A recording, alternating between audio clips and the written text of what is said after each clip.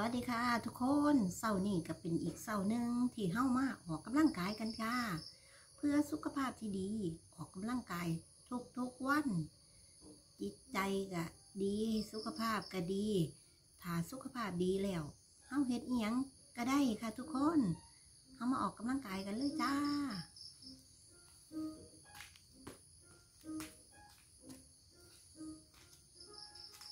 ยืดเหยียด พื่อป้องกันการบาดเจ็บค่ะ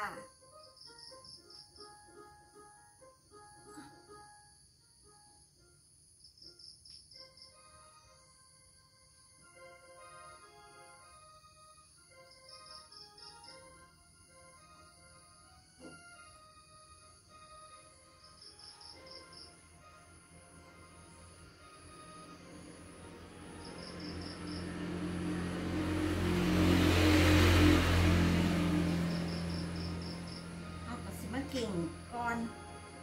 จักสามสิบครั้งค่ะ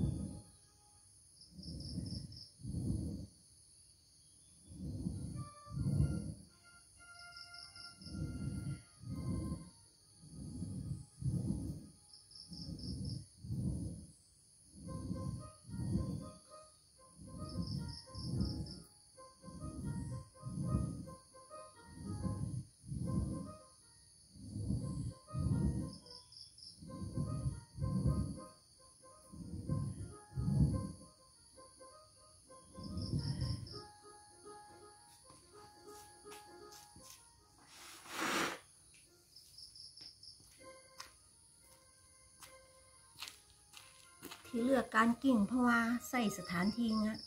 น้อยประหยัดเนื้อที่ค่ะทุกคน และก็ได้ความแข็งแรงทุกส่วนของร่างกายค่ะทุกคน แขนก็ได้ เนี่ยก็สิบย่วยย้อนย่านค่ะพี่น้องก็ผลพลอยใดก็คือซิกแพคตามมาค่ะพี่น้องล่องกิ่งเด้อค่ะเด้อเป็นการออกกำลังกายวิธีหนึ่งค่ะพอกันไว้คลิปหน้าค่ะ